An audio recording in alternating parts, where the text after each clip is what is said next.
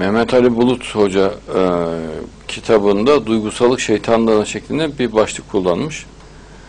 O başlığı şöyle anlatıyor hocam. Bu başlığı özellikle seçtim. Bu sözü Harun Yahya'nın bir ifadesi ilham etti. O sözü ilk okuduğum zaman işte bu demiştim. Suret aktan görünüp insanları mahveden vehim. İşte bu.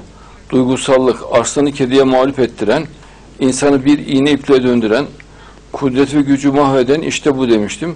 Çünkü duygusallık, duygu dediğimiz ve aslında insanı yücelten bir özelliğin sinsice insanı yıkan ve içten içe çürüten merhalesi diyor. Helal olsun Mehmet Ali Bulut Hoca'ya.